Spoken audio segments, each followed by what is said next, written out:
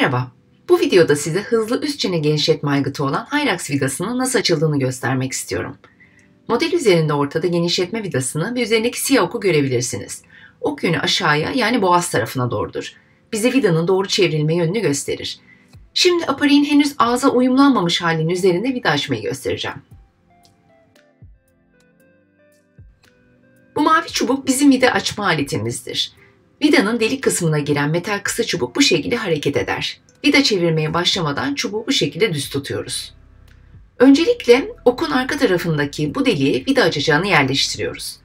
Aletin ucundaki kıvrım sayesinde yanlışlıkla damağa doğru girme durumu olmadığı için rahatlıkla bastırabilirsiniz.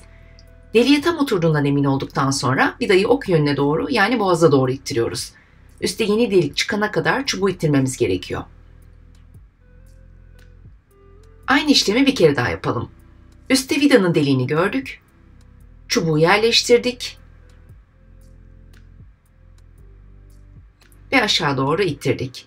Burada önemli bir nokta çubuğu nazikçe çıkartmamız lazım. Çünkü vidanın bu şekilde tekrar ters yöne doğru dönmesini istemiyoruz. Çubuğu çıkarttıktan sonra vida deliğinin üste göründüğünden emin olmamız gerekiyor.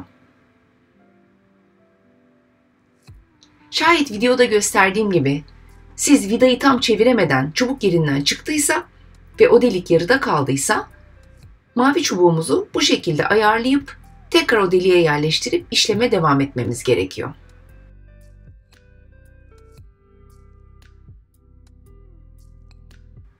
Tur tamamlanınca tekrar yukarıdaki vida deliğini görebiliyoruz.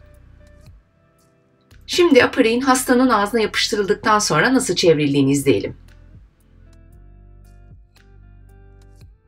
Çubuğu vida deliğine yerleştirdikten sonra ok yönüne boğaza doğru ittiriyoruz ve dikkatli bir şekilde çıkartıyoruz. Kolaylıklar dileriz.